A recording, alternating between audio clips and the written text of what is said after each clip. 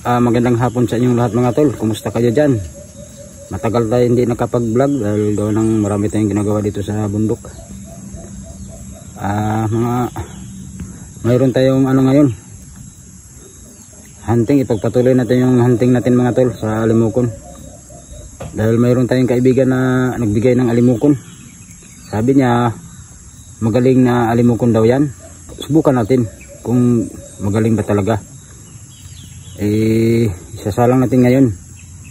Kahit sit up number 1 lang susubukan na natin kung makakahuli ba sa hapon na ito. Pero balang araw yung may-ari ng alimuko na yan isasama natin. Pag uh, makabili tayo ng power bank hindi ko alam saan bahay tao na yun dahil bigla lang sumulpot dito sa lugar namin. Dala-dala ng alimuko nagmumotor. Para magkakaroon lang tayo ng ulam dahil mahirap ang ulam dito mga tol sa bundok.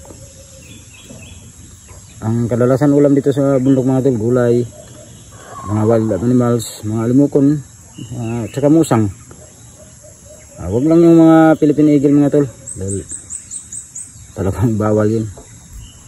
Yun lang ang ano pwedeng huli natin. Pero lahat ng mga hayop sa kagubatan mga tol ay pinagbabawal ng gobyerno natin pero itong mga alimukon, talagang ang tradisyon natin dito sa bundok ay talagang nanghuli tayo ng mga ganyan para magkaroon lang tayo ng ulam.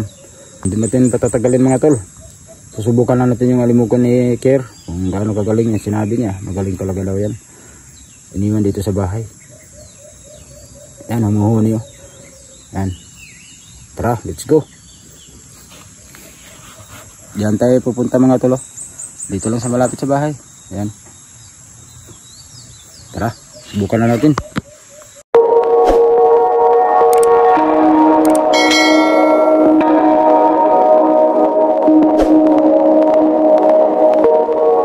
Sit up number 1 tayo mga tol. Kay alimukon-mukol. Simukoy alimukon. Simukoy alimukon ang dala-dala natin mga tol. Alimukon ang kaibigan natin. Subukan natin, subukin natin kung ano ang mga diskarte nito. Yung sabi niya malupit daw ito. Subukan natin. Tara, tago tayo.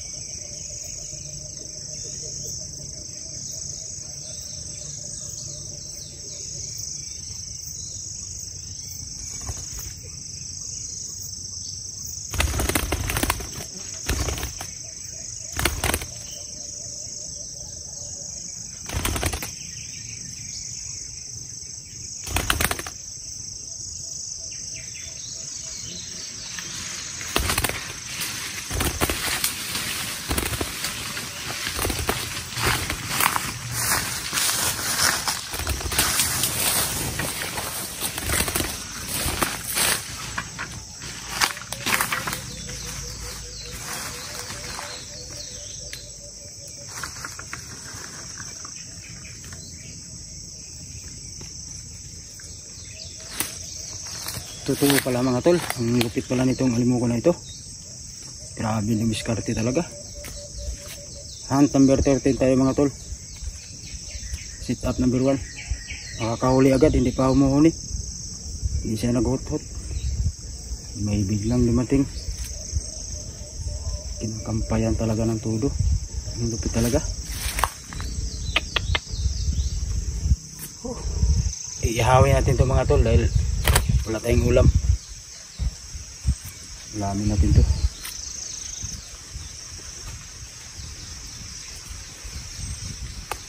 hindi na tayo, hindi na tayo mag-alaga ng alimukon mga tol dahil mahal ang feeds saka mahuli pa tayo ng taga DNR alaga tayo nito bawal ito alagaan uh, dito talaga sa bundok mga tol hindi talaga natin maitatanggi na ano talaga tayo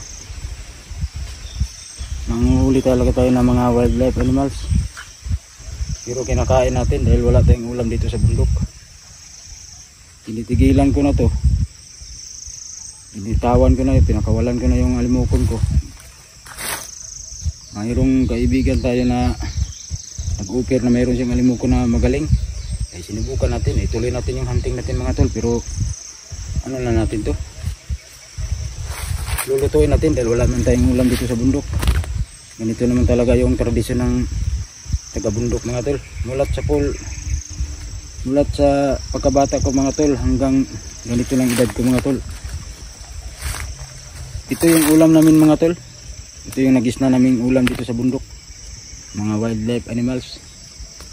Kaya kahit hindi ko iba-vlog to mga tol ganito talaga mga gawain sa taga bundok mga tol ay papasilip ko lang sa inyo kung gaano kagaling tong alimuko na bago nating katian galing sa kaibigan natin na si Kier ang lupit talaga. Hanggang sit up number 1 lang tayo mga tol. Dahil sinubukan na natin yung alimuko ni Kier balang araw isasama natin si Kier sa paghunting ng mga alimukon bibili tayo ng power bank para mapanood niyo lahat ng mga sit up sa mga sa alimukon na ito para malaman ninyo kung ano talaga ang diskarte nito dahil magaling talaga sabi niya magaling pero nasubukan natin ah, talagang magaling Nung unang dumating dito mga tol, yung alimuko ni Kier ay walang buntot eh. Kaya nangaputol yung ano niya. Uh, balahibo sa buntot. Kaya tinanggal ko na lang, binunot ko, pinapatubo ko. Mga isang buwan, tumubo na. Dahil kung walang buntot yung alimukon mga tol, kulang yung diskarte niya. Kung kampay lang ang asahan natin, mahirap. Dapat mayroong buntot para pagbuhaghag ng buntot na pagbuhaghag sa buntot ng alimukon ay yun ang pangalawang diskarte niya at saka yung pangatlong diskarte ng alimukon natin mga tol ay yung pagliblob pag, uh, paglublob sa pugad paglublob sa pugad ang pangatlong diskarte ng alimukon mga tol ang una ay ang una pala mga tol ang diskarte ng alimukon ay ang paghuhuni nila. Paghuhuni nila ng tulad ng hut hut pangalawa pag lumapit na yung alimukon ay kakampayan. At pangatlo lublob nila sa pugad pagbaba nila sa pugad at sabay ng buwagag ng ano nila yung buntot at sabayan rin nila ng kampay at pino na huni. Ayun ang mga diskarte ng katian mga tol ng alimukon ang tandaan nyo palagi mga tol. Tinigilan ko na to mga tol dahil yung maraming nahuli ng mga vlogger sa paghanting ng mga ganito alimukon pero patuloy natin sa atin dahil uulamin natin. Dahil ganito naman talaga ang buhay sa probinsya mga tol sa bundok. Ang huli tayo ng mga wildlife animals tulad ng mga limukon mga musang pero kakainin natin dahil yan ang pagkain natin dito. Ulam natin dito mga tol sa bundok. Yung mga wildlife animals. Huwag lang yung mga agila mga tol dahil bawal talaga yun. Malaking ano yun kaso. Yung katulad ng banog. Uh, endangered species. Pero mga alimukon mga tol hindi naman gaano yan. Dahil talagang kinakain dito sa bundok yan. Pero lahat ng mga hayop sa kagubatan mga tol ay pinagbabawal ng uh, gobyerno natin pero hindi natin maitatanggi. Tayo ay nanghuli talaga tayo ng wildlife animals maliban sa mga endangered species. Sa mga agila wag, wag, wag yun. Dahil bawal talaga yun na mahigpit na ipinagbabawal. Pero mga limukon na limukon lang mga tol. Yan talagang ulam namin dito. Tulad mga palaka rin. Yan yan. Mula pa sa hindi pa siguro ako sinilang mga tol. Yan ang ah, gawain dito sa mga tao sa tagabundok. Mula nung sinilang ako ay yan ang ulam namin. Hanggang lumaki na ako. Hanggang nagkakaroon ako ng pamilya. Yan dito talagang buhay namin dito sa bundok mga tol. Dahil mahirap dito sa bundok mga tol maghanap ng ulam. Wala tayong pambili ng ulam. Pera. Dahil wala tayong pang, ano dito. Kikitaan na madali lang. Na sa loob ng isang araw kumita tayo ng ganyan pera may pera tayo agad. Para pangbili ng ano pangangailangan. Pero dito sa bundok mga tol apat na buwan bago ka magkakaroon ng pera hindi pa sigurado dahil doon ang magkakaroon pa na tayo ng failure. Aalagaan pa natin yung mga tanim natin mga apat na buwan. Hindi natin sigurado kung magtagumpay ba yung mga alaga nating tanim. Ah, sige mga tol salamat sa inyong papanood ng video na ito. Abangan na lang niyo mga tol sa susunod na vlog namin isasama ko na yung may-ari ng alimukon mga tol para makikita niyo rin siya. Sumama na sa akin dati yun sa panghuli ng palaka. Nanghuli kami ng palaka doon sa ilong mga tol. Gabi yun hindi niyo gaano nakikita siya dahil gabi. Pero ngayon ah, balang araw pag makabili kami ng power bank ah, sasama natin siya sa paghunting ng mga alimukon. Ah, matagal pa dahil ko kailan tayo magkakaroon ng pera saka na tayo bibili hindi na tayo pwedeng bumili. Wala tayong pera mga tol di ba? Sige mga tol maraming salamat sa inyong lahat. Thank you. Ingat kayo dyan